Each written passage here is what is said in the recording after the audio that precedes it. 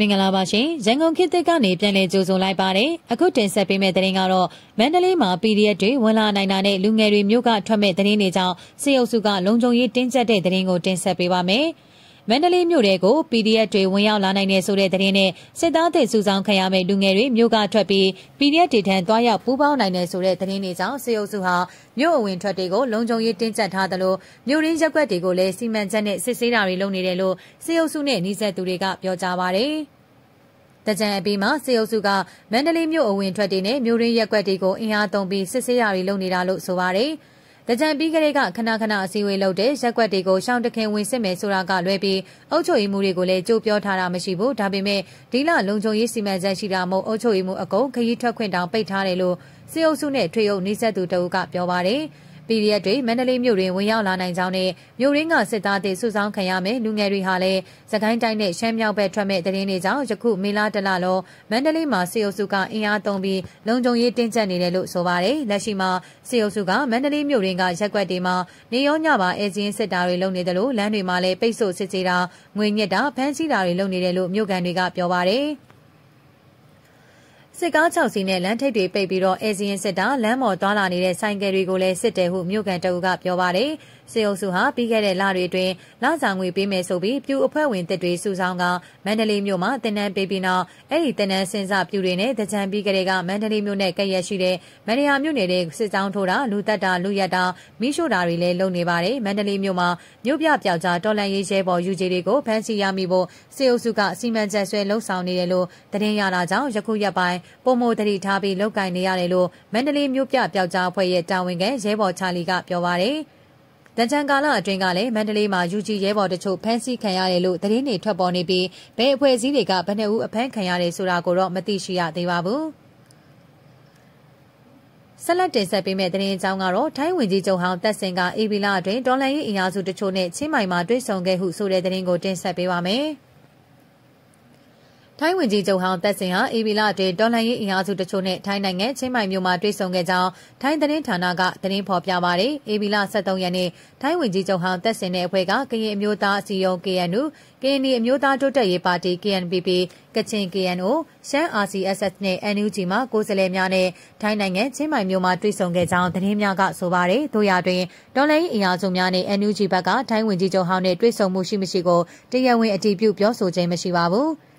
ထိုင်းနိုင်ငံသားရေးဝန်ကြီးတက်ကထိုင်းဝန်ကြီးချုပ်ဟောင်းတက်စင်အနေနဲ့မြမဒေါ်လာရေးအင်အားစုများနဲ့ပုဂ္ဂိုလ်ရေးရတွေ့ဆုံဆွေးနွေးနိုင်သည့်အခွင့်အရေးရှိကြောင်းအဆိုပါဆွေးနွေးမှုဟာထိုင်းအစိုးရနဲ့ပတ်သက်မှုမရှိကြောင်းထိုင်းသတင်းမီဒီယာထံသို့အတည်ပြုပြောဆိုထားပါတယ်။မြန်မာအချက်တဲဖြည့်ရှင်ရေးဒေါ်လာရေးအင်အားစုတချို့နဲ့ထိုင်းဝင်ကြီးချုပ်ဟောင်းတက်စင်တွေ့ဆုံသည်ဆိုသောသတင်းများထွက်ပေါ်လာချိန်မှာထိုင်းနိုင်ငံသားရေးဝန်ကြီးတက်ကထိုကဲ့သို့မှတ်ချက်ပြုပြောဆိုကြောင်းသိရှိရပါတယ်။ ဆက်လက်တင်ဆက်ပေးမယ့်သတင်းအကြောင်းကတော့ဝက်လက်ရှိမိသက်ယုံနဲ့တာဝါတိုင်းဆောင်စစ်တပ်ကို drone လက်နက်ကြီးများဖြင့်ပစ်ခတ်မှုစစ်သား3ဦးသေဆုံးတဲ့သတင်းကိုတင်ဆက်ပေးပါမယ်။စကိုင်းတိုင်းဝက်လက်မြို့နယ်ရှိမိသက်ယုံနဲ့တာဝါတိုင်းဆောင်စစ်တပ်ကို drone လက်နက်ကြီးများဖြင့်ပစ်ခတ်ပုံကျဲတိုက်ခိုက်ခဲ့ရာစစ်သား3ဦးသေဆုံးခဲ့ကြောင်းရတနာဘုံတပ်ဦးမန္တလေးခရိုင်ပါကာဘာမှတာဝန်ခံကိုကီကပြောပါရယ်။ ဂျမန်နေ့မေလ6ရက်နေ့မနက်7:00နာရီဝန်းကျင်ချိန်ဝက်လက်မြို့နယ်ရှိမိသက်ယုံနဲ့တာဝါတိုင်းဆောင်စစ်တပ်အထိုင်စခန်းမှာအကြမ်းဖက်စစ်သားများကိုရတနာဘုံတပ်ဦးနဲ့မဟာမိတ်တပ်ပေါင်းစုကဒရုန်းဖြင့်တိုက်ခိုက်ခဲ့ကြောင်းထို့ပြင်မြေပြင်မှလည်းလက်နက်ကြီးများဖြင့်ပစ်ခတ်တိုက်ခိုက်ခဲ့ကြောင်းထို့သို့မဟာဗျူဟာကြကြပူပေါင်းတိုက်ခိုက်ခဲ့ရာအကြမ်းဖက်စစ်သား3ဦးသေဆုံးပြီးအများပြားဒဏ်ရာရရှိခဲ့ကြောင်းသိရပါဗျ။ မဟာမိတ်တွေပေါင်းပြီးစော်တာဒရုန်းက6စီးကျော်မယ်လက်နက်ကြီးရောထုတယ်လက်နက်ကြီးနဲ့ဒရုန်းတွေနဲ့တွဲစော်တာခွေးတွေဘက်ကများများပြန်မပြစ်နိုင်ဘူးကျွန်တော်တို့ဘက်ကဇက်တိုက်ထုတာအနိကဝိုင်းထုကြတာဆိုတော့ထိတဲ့ခွေးတွေဒိုင်နာကားနဲ့တေးတာထိပါမြင်ရတယ်ဒရုန်းတစ်စီးကဂျမ်းမာထိပြီးပြတ်ကျခဲ့တာမဟာမိတ်တပ်တွေကဒရုန်းတစီမဟာမိတ်တပ်ဖွဲ့တွေရဲ့ဒရုန်းတစီပြတ်ကျခဲ့တာပါဟုရတနာဘုံတပ်ဦးမန္တလေးခရိုင်ပကဖတာဝန်ခံကိုကီကပြောကြားပါတယ်။ အဆိုပါတိုက်ခိုက်မှုကိုရတနာဘုံတပ်ဦးပြည်သူ့ဘက်တော်သားပျောက်ကြားတပ်ဖွဲ့ 7PD ရဲ့ဗိုလ်လိုင်ဘွားပျောက်ကြားတပ်ဖွဲ့ဗိုလ်ရီကျန်နဲ့ဗိုလ်ရဲရင်အောင်တပ်ဖွဲ့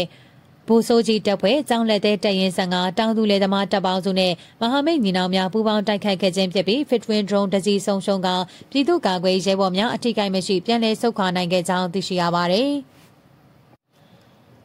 ဆက်လက်တင်ဆက်ပေးမယ့်သတင်းအကြောင်းကတော့ဘူးတီတောင်မြို့အဝင်ပေတထောင်ခန့်ရှိတဲ့တရားကိုစစ်ကောင်စီကဖောက်ခွဲဖျက်ဆီးတဲ့သတင်းအကြောင်းကိုတင်ဆက်ပေးပါမယ်။ ဘဘူးသီးတောင်မြို့မှာစစ်စင်ရေးကုကဲမှုဌာနချုပ်စကခ15ကိုအာရခတက်တော် AA ကတိုက်ခိုက်သိမ်းပိုက်ပြီးနောက်ဒေသရင်းဆက်သွယ်ရေးအတွက်အထူးအသုံးပြုနေတဲ့မြို့ဝင်တရားကိုစစ်ကောင်စီကမိုင်းခွဲဖျက်ဆီးလိုက်ကြောင်းသတင်းရရှိပါရယ်မြို့ဝင်ကပန်းစင်ချောင်းတရားကိုစစ်တပ်ကဖောက်ခွဲဖျက်ဆီးလိုက်တာပါညနေပိုင်းမှာစစ်ကောင်စီတပ်ဖွဲ့ဝင်တွေလာတာတွေ့ပါတယ်ညမိုးချုပ်ခါနီမှာပောက်ကွဲတံအကျယ်ကြီးကြပြီးတနေရာကနေပြိုကျသွားတာပါဟုဒေသခံတအုပ်ကပြောပါတယ်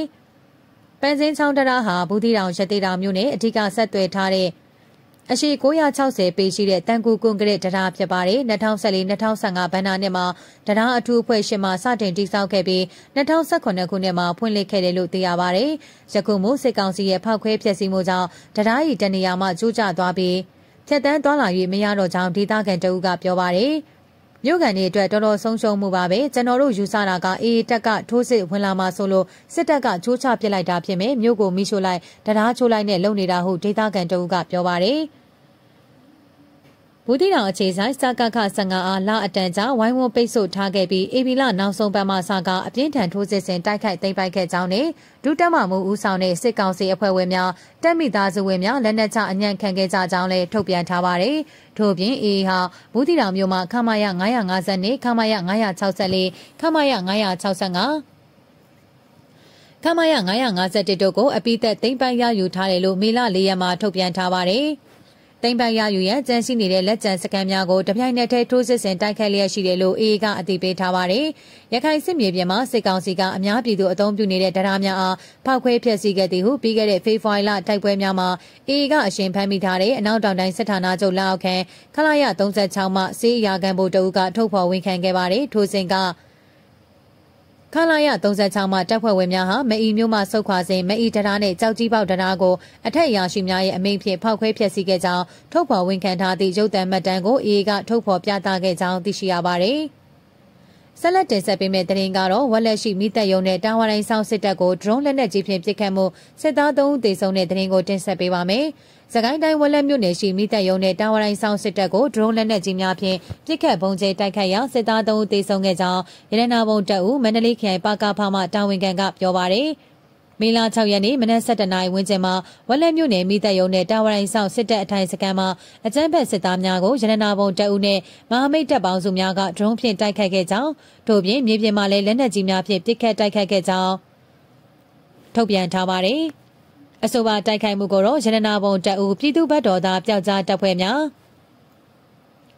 7 PDF ဘိုးလိုက်မွားပျောက်ကြားတပ်ဖွဲ့ဘိုးရီချက်နဲ့ဘိုးရဲငင်အောင်တပ်ဖွဲ့ဘိုးဆိုးကြီးတပ်ဖွဲ့ကျောင်းလက်တဲ့တပ်ရင်15တောင်သူလေသမားပူပေါင်းတောင်သူလေသမားတပ်ပေါင်းစုနဲ့မဟာမိတ်ညီနောင်များပူးပေါင်းတိုက်ခိုက်ခဲ့ခြင်းဖြစ်ပြီး Fitwin drone တစ်စီးစုံစုံကပြည်သူ့ကာကွယ်ရေးရဲဘော်များအထိကိမရှိပြန်လည်ဆုတ်ခွာနိုင်ခဲ့ကြောင်းသိရှိရပါတယ်။